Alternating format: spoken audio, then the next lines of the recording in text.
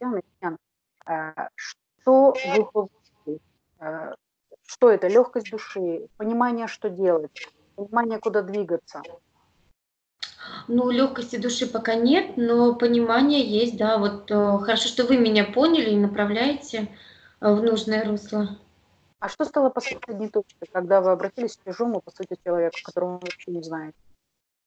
Последней точкой, ну, потому что я уже не понимала, почему у меня какие-то события повторяются в жизни. Я не могла найти закономерность эту. Ну, потому что будут нас слушать те девочки из э, того же даже чата, да, и они будут задавать, может, не надо, может, я как-то сам справлюсь, да, может быть, как-то оно само разрешится, может, оно как-то само с собой, как беременность рассосется. А какой совет вы бы дали людям, которые сейчас вот сидят и тоже думают, идти, не идти, обращаться, не обращаться?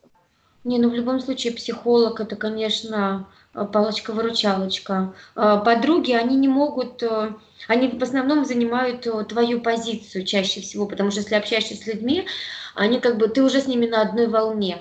Да, я так думаю. И вот я пыталась с подружками эти ситуации обсуждать, но как-то они не приносили никакого, ну, трезвости, понимания правдивости ситуации, а как оно может быть на самом деле. Конечно, психолог э, нужен. Так же, как экспертность, да, в любом месте. Ну, то есть, когда мне нужен там, маникюр, я иду к мастеру Конечно. маникюра, я экспертна быть во всем. То есть я включаю, когда мне нужна стрижка, я иду к парикмахеру. Когда мне нужно делать глаза, я там иду делать глаза. Да? Когда мне нужен массаж, я иду. То есть психолог это такой же один из экспертов, который делает психокоррекцию какую-то и выводит человека на связь с самим собой. Потому что все могут уйти из нашей жизни, но я, называется, никуда не уйду.